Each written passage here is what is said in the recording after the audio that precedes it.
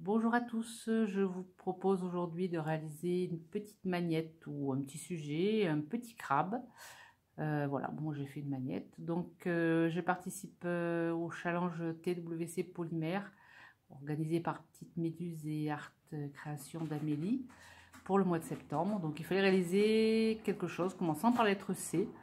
Donc euh, voilà, j'ai résisté à la tentation de faire un bijou, j'ai décidé de faire un petit crabe, voilà, une petite manette. Voilà, j'espère qu'il vous plaira. Je vous mettrai les liens du challenge en barre d'infos euh, et je vous laisse avec le matériel si le tuto vous intéresse. À tout à l'heure.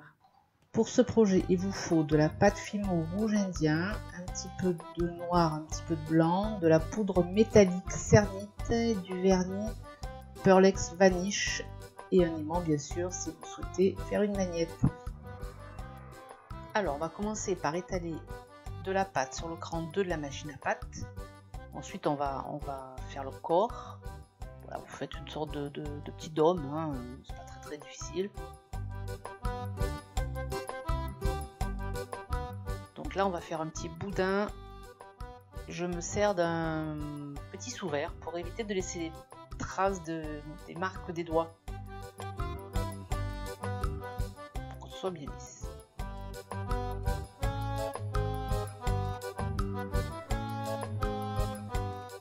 On va faire les petites pinces. Donc en les roulant, comme ça on fait, on fait la petite pointe en roulant juste le, le, petit bout du, du, boudin. Et on en fait 6.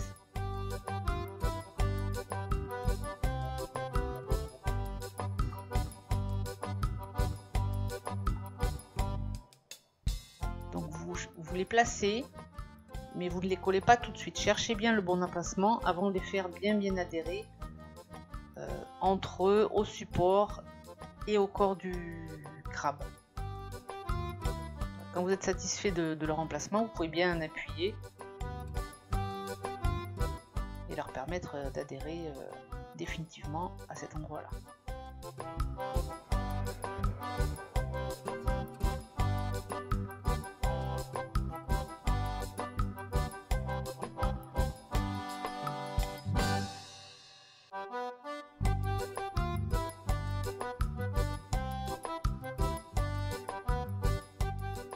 Ensuite, on va s'occuper des grosses pinces.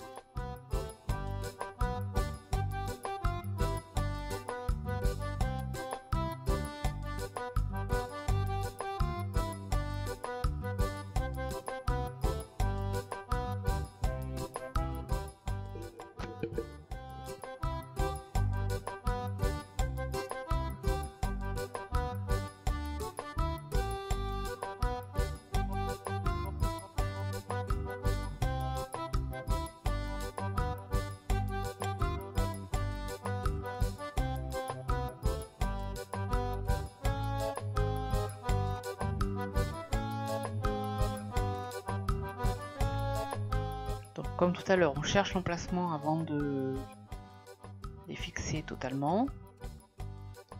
Donc, on a fait de, petits boules un petit peu en amande. Et on va couper l'intérieur en V pour faire des, belles pinces. Donc là, je redimensionne un peu, c'était un petit peu trop gros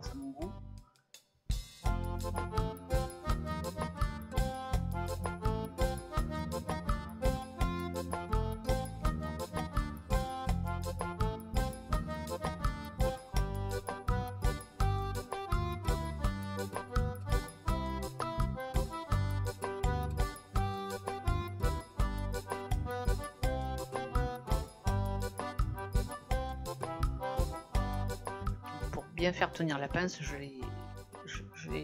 j'ai écrasé un peu le, petit bout de la pâte. Euh, je sais pas si vous comprenez ce que je veux dire, la, grosse pince sur le petit bout de la pâte, pour que ça adhère bien.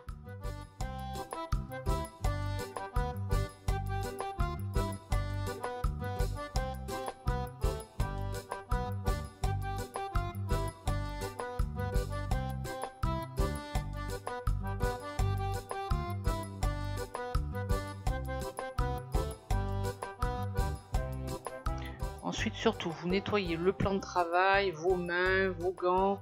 puisqu'on va s'attaquer aux yeux, et comme c'est de la pâte blanche et que ça marque énormément, il faut vraiment que tout soit très très propre. Vous voyez, je fais deux petites boules, donc j'en fais une un peu plus grosse que l'autre, mais c'est voulu, j'ai envie de faire euh, un petit crabe un peu rigolo. Donc j'ai hésité à lui faire euh, un strabisme, euh, à le faire loucher, bon finalement j'ai juste fait une petite coquetterie dans l'œil. J'espère qu'il m'en voudra pas ce petit Carlos.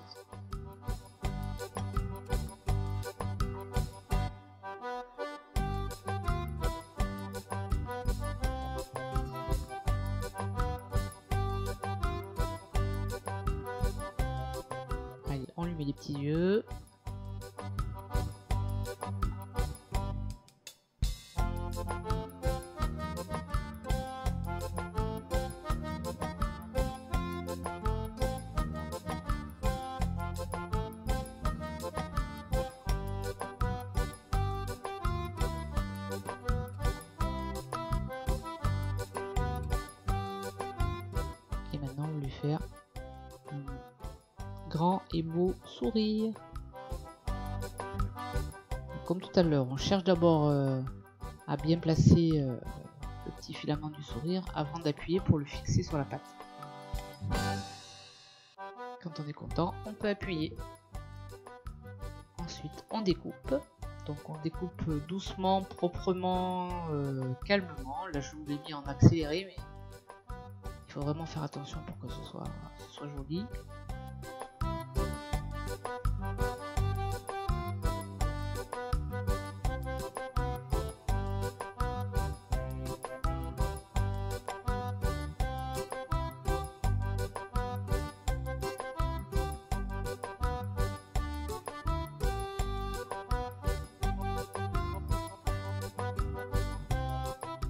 Ensuite, on s'occupe des finitions, c'est-à-dire qu'on va lisser le dessous euh, de pâte pour qu'elle se fonde avec le, le dessus, on va dire, avec ce que l'on a fait.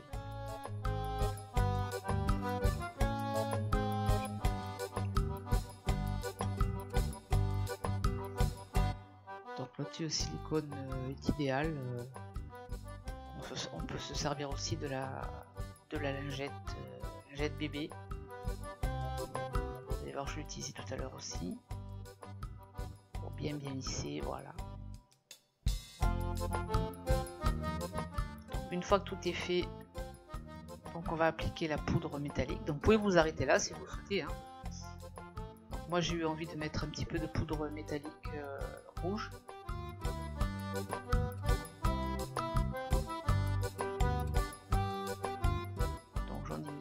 Les pinces, les pinces du haut, un petit peu les pinces du bas. Et le bout des... Un petit peu le tour également du corps, voilà. Le bout des pinces du bas et un petit peu le contour du corps.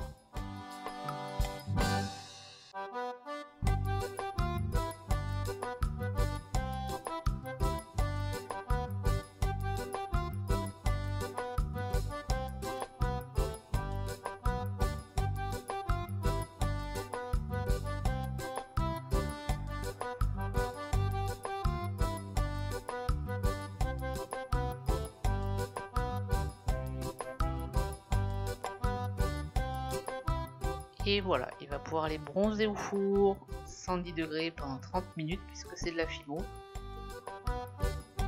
Maintenant, je vais consolider les deux pinces du haut avec un petit peu de colle Beckett Bond et de la pâte crue finement pour renforcer un petit peu euh, ces deux axes qui sont un peu, un peu légers, euh, qui pourraient casser.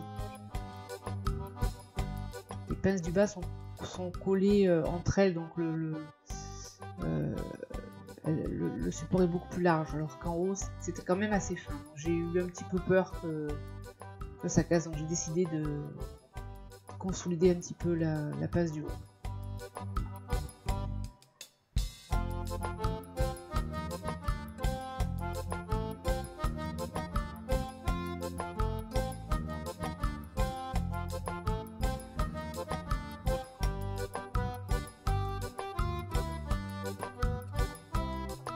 Constance bien avec la logette.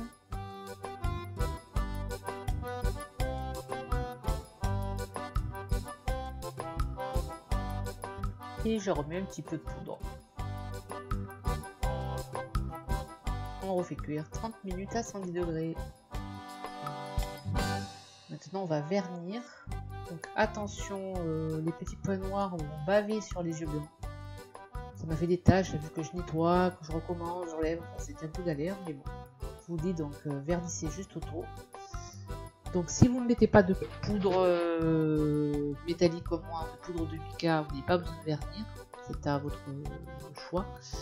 Mais comme les poudres sont assez volatiles, il faut quand même les protéger. Et le vernis Pearlex Vanish est vraiment destiné pour euh, toutes les créations où on, met des, poudres de mica. Et voilà, mon petit crabe est terminé. Je l'ai appelé Carlos. J'ai un petit peu résiné le dos pour que ce soit un peu plus propre et j'ai collé un aimant tout simplement. Voilà, il va retrouver le petit panet de plage euh, sur mon frigo. J'espère que ce tuto vous aura plu. Et je vous dis à très bientôt pour une prochaine vidéo. À très bientôt les amis.